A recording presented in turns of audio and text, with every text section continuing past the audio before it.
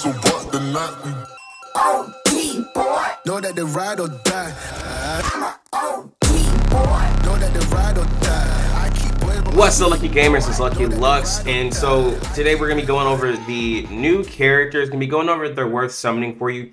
Again, we're gonna be talking PvP. PvE is something where you can make it do worth with most characters in the game, right? This is just gonna be PvP mostly what I'm gonna talk about. If they have a PvE benefit, you know that I see, then I'll point it out. But we're gonna talk about again what they can do for the new Hollow battles, Point War, different things like that. So first up, it's gonna be Osiris Ollie, five star fluid-tuned Esper. Uh, it's gonna have some support abilities capable of preventing allies from dying. Uh, first, uh, first like kind of thought about that. Decent, preventing allies from dying. Um, especially if you're getting bursted down, right? You could build possibly Ollie a little tanky to live uh, through uh, from you know having one of your allies taken out. So first ability, Hook Strike, deals damage to an enemy with a chance of inflicting silence. So based off of the amount of the chance that gives, that you know kind of screams out counterattack because having a counterattacker that can silence is really helpful for keeping your team alive. They can't do any abilities. And if they don't have somebody who can passively clear off debuffs on you, then they're going to be in trouble, honestly. So first ability, not too bad. It just depends on the chance because a lot of silences um, right now in the game have a really low chance and they're not really uh, the greatest on counter set. Uh, and there's only a few people who can put out silence on uh, the enemies. And let's see, this is the second ability. When an allied Esper takes a fatal hit, Ollie's passive ability, Salvific Judgments, grant Salvific Judgments to prevent them from dying, as well as invincibility and recovery, and inflicts Law of Duat on the attacker. Okay, and that's the ult. So if somebody dies, he gives them invincibility and recovery, and then counterattacks kind of with the ult. So the only thing about this is that if you're going against like a Chloe or a Hyde or somebody like that, you know, they could take off that recovery. So you'd still have to put a healer plus like the recovery is only going to be for one turn, I assume. So they're only going to get up to 15% um, HP. They do have the invincibility to pull off one turn. I could see this maybe working with uh, who is he? Uh, Freddy, right? Freddy does really good at being at low health. You could use this with Freddy, and then you could use his two for standoff to keep him at one HP a lot longer. And you could maybe like you know this could be like this kind of reminds me of uh Pokemon using the Focus Sash and then just doing a bunch of damage with like having like Blaze and Endure on. Uh, you know, you could possibly make this work with Freddy. I see having them at low health, going right into standoff, possibly. But let's see what the third ability does. Law of Duat deals damage to an enemy with additional damage based on the target's max HP, inflicting defense down and taunt them. Yeah, so I can see this combo working off with like Freddy or a really nice single attacker who can buff themselves.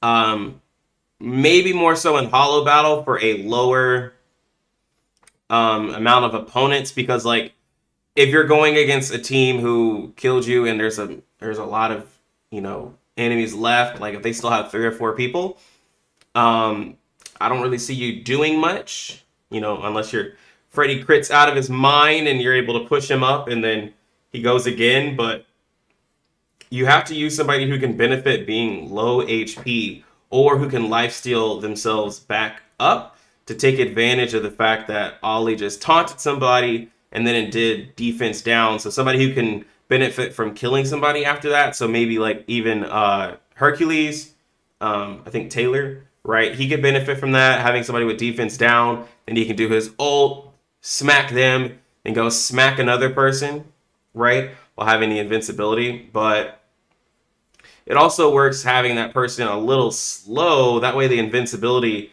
lasts a lot longer for you. Everyone goes to their attack phase. You can heal them up, and they're not taking any damage. Um, so there, I mean, there are some ways this wouldn't be great because if you use this on a fast person, they would just get out of the invincibility really quick, They'd only get the 15%. And typically, not many fast espers have sustain, so this would be wasted on some people. I think you have to use this primarily for somebody who's like really uh, either somebody who's really beefy, like one of your tanks or defense users, you know, like your Donner or something like that, um, or somebody who you have just stacked with like a uh, attack crit, and you're gonna counter attack basically after you you know prevented them from dying. Um, it also this also grants the caster invincibility. I didn't see that. So you're protecting now two people after this who are invincible. So you could possibly have like a um, healer or support or somebody keeping them like healed up. Maybe you can um, also buff them with attack up and crit. That way this can hurt uh, because the target's max HP where it's where it's based off of. It just depends on the values. We don't have any values for this. Um, but so far, it seems like this is more of a like very specific situation where you have a unit who could actually like just smack somebody. And I see this more so in a club hollow battle where this could be more dangerous. For PvE, I really don't see this because like I mean taunt like I, I mean maybe if you're in the tower and you wanted it, but it's not gonna help you against Hyde.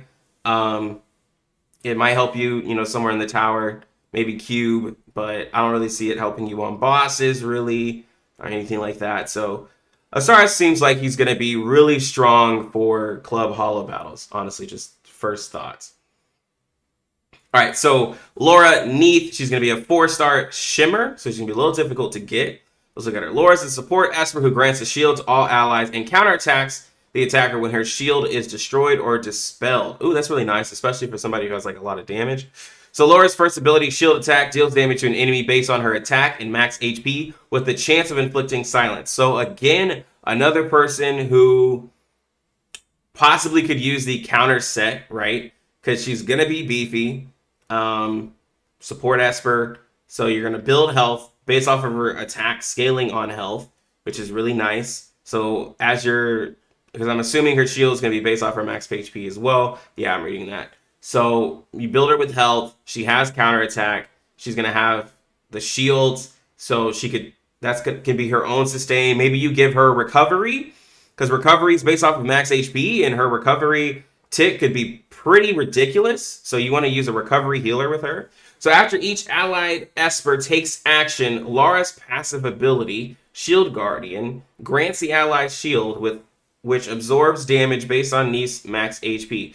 Okay, so her second skill, definitely you probably want to max that out because it's going to most likely, um, if it can be, you know, skill up, it's probably going to increase the amount of shield that she gets based off her max HP. And it says after they take an action, so I'm assuming it's going to be limited to when they um, take a turn. Not like if they do a counter attack or they do an extra effect with their abilities. I wouldn't believe it would do that. Um, it's probably after they take a turn. So basically, after your people take a turn, they get a shield that protects themselves to go to their, you know, next turn. Like in Hollow Battle, this could be really strong. Um, this is going to be going towards more so the bruiser meta with this because you're giving people like Donner a shield. You're giving people like, um, you got Lewis out there. You got Taylor. We just talked about Freddy. Like you have a lot of people who could benefit from a shield, especially like you know Freddy, Taylor's Lewis is people who can just like obliterate somebody. This could be really annoying in hollow battle. For big teams, this helps you from surviving a little bit. Like I don't believe Neith is gonna be super fast, right? Uh, to really get herself shielded. So like maybe if you have some supports who are really um really quick, like you have your Gabriel, she can give the defense up after she takes her turn, she gets a shield maybe if you push your team up, everybody acts, right? You'd have to, like, if you had a faster team than Neith, they could all get their shields, right? And then they could survive the the attack from the enemy. And then Neith can counterattack when when the shield is destroyed or dispelled. So if they silence it, she counters attacks. So that could be really nice, especially if she counterattacks, inflicts a silence. They can kind of shut down somebody. So I can see where this could be really annoying. I'm gonna have to test her see what all of those values are. But this could be interesting in a way for PvP. Uh, for PvE, it could be nice, right? You could um, just get some extra damage with the with the shield. You're protecting your people. You could probably use her with Bernice and just get huge shields. You got recovery on everybody. Um, and then if you're running a three healer comp, you could probably use like um, Hingyu, um, Chang'e basically, or anyone who does recovery, um, or even uh, Chengpu, uh, somebody who heals off of max HP as well. So I could see where this could uh, be used really well with Bernice. You could just shield stack like crazy. Um, and then also people run Gabriel for extra defense. You can make your team really tanky and then just have some really strong DPSs. Laura's third ability, Iron Wall, grants shield and crit resist.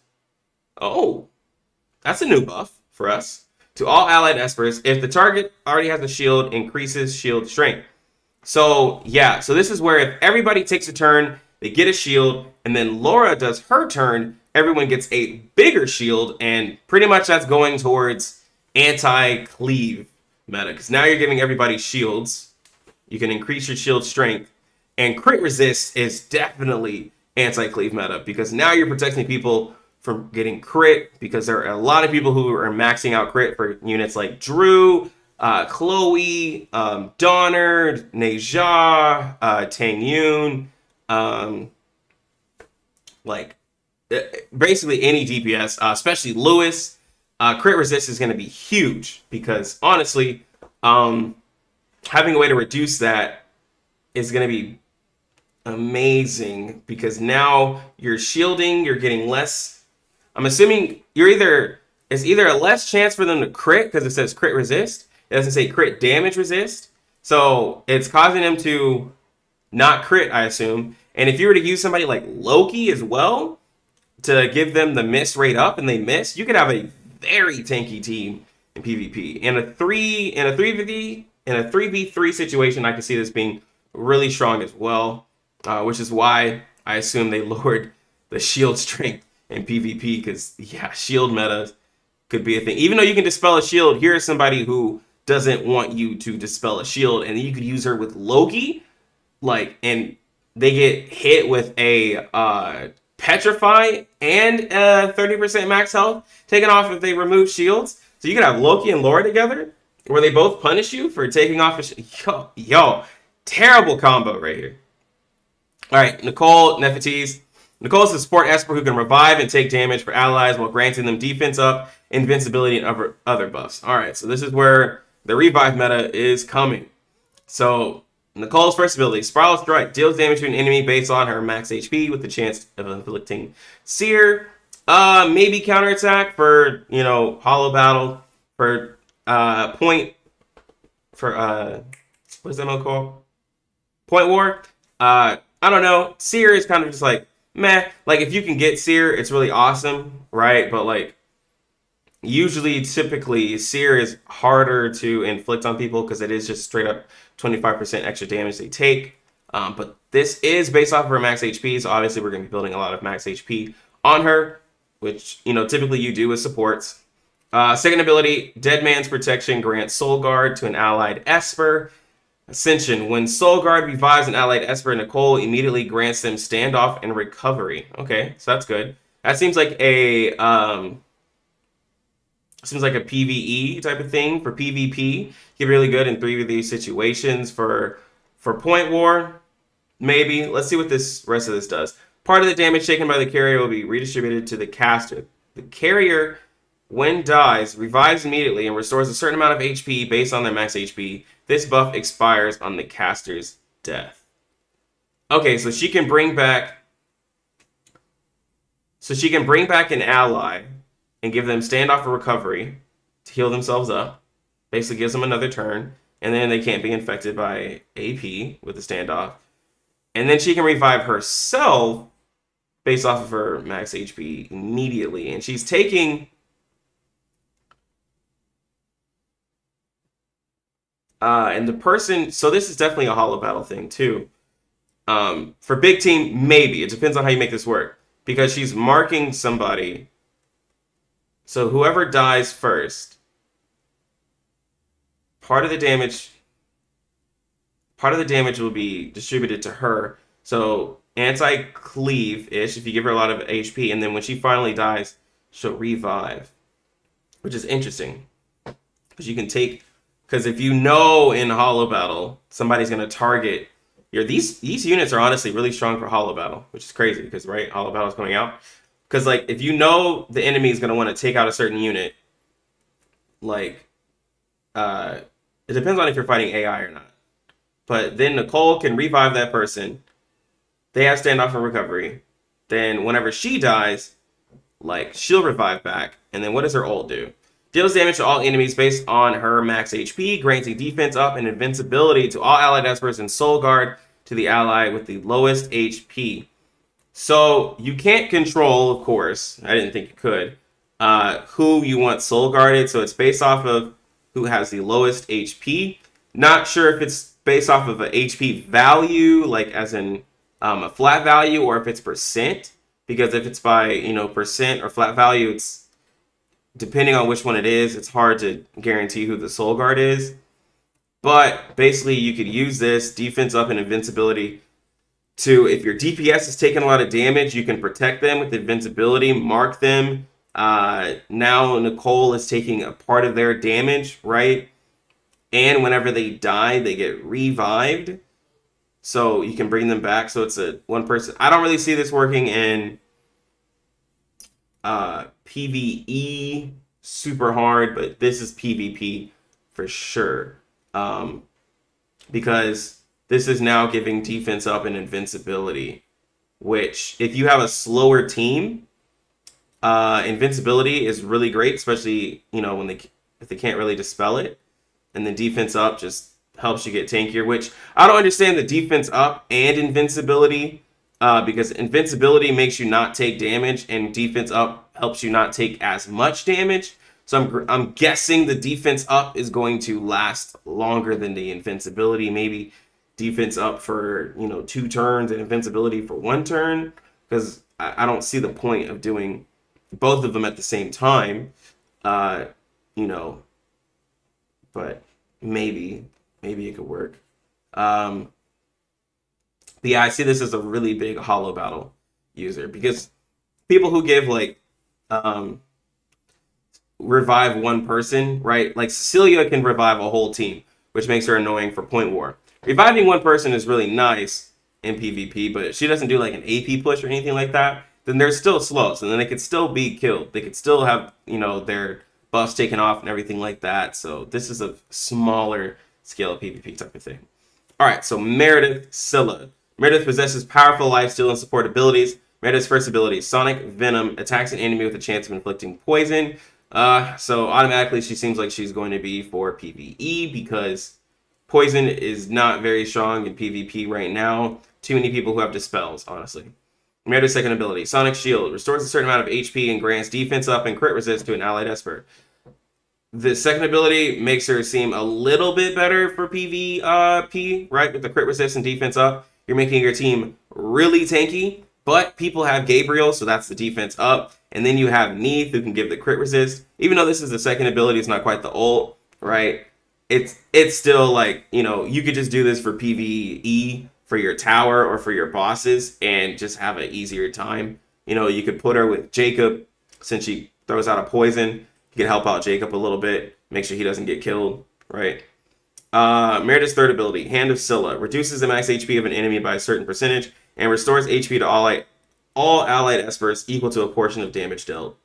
Um, now this, now this is making her seem a little bit more better for uh, PV um, PvP because now she's reducing the max HP of enemies by a certain percentage, which that percentage matters a lot She's a four star wind element, so at least she's a four star.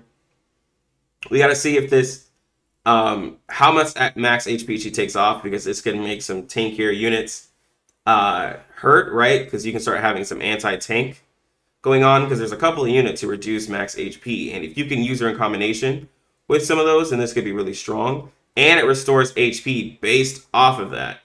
Her ascension, if an allied Esper's HP is above a certain ratio, grant speed up. So now you guys are faster too to kind of clean them up. So this could help out. Um, Hollow Battle doesn't seem like it's going to be that strong because you kind of want a full like five to do this um, to do this against because you restore HP based off of it, right? But you could possibly make it work in a 3v3 situation, but it doesn't seem as strong. For PvE, this seems really good, especially when you're going against those like enemies in like the cube and the tower who have a lot of HP. Now you're reducing the max HP, which is, you know, always great to do a percentile type damage. And if this can't be resist or anything like that, that could be really strong, honestly. Um, so if I were to say, right, uh, out of these units, what you're like looking for, if they're worth it, right?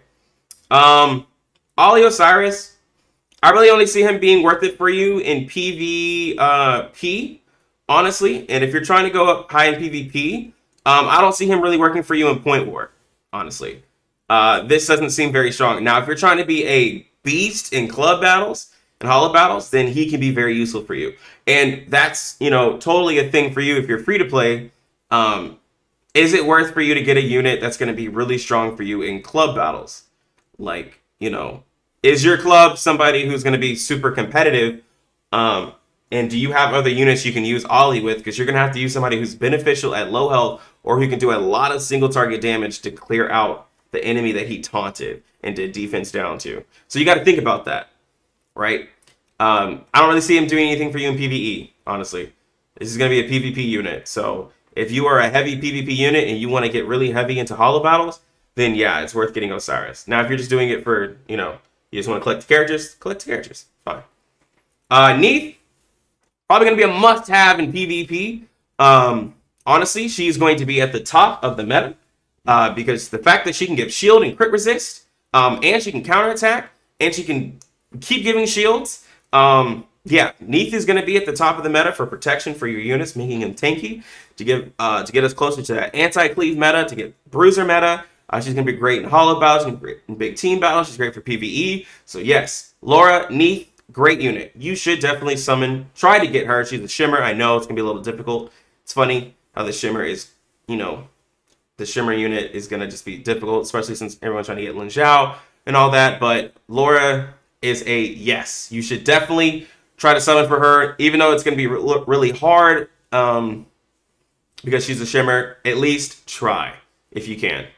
Um, Nicole, um, yes.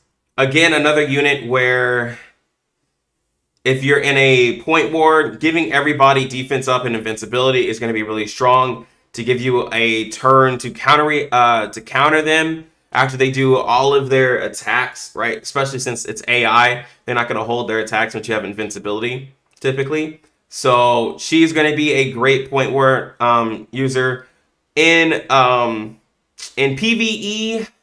Since you have a full team, I mean, maybe but the fact that she only revives one person, it's not as strong in PvE. She's to be definitely a PvP person, uh, you know, to really focus on the defense up and invincibility. So, you know, with the Seer, it's okay, but there's other people who give Seer, honestly. So, again, this is to be a PvP unit. Mostly to me, you can do PvE, but yeah, Hollow Battle, she's going to be really strong. Um, Point War, she's going to be kind of strong with her AoE invincibility defense up, but I don't know her stats and everything like that to really base anymore. Meredith's going to be free with the event, so uh, she's going to be acquired in the event shop. So like if you get her, you get her. With the defense up and crit resist, um, she can be really nice. Uh, also with the taking off max percentage, I feel like she could be a really decent uh, PvE unit.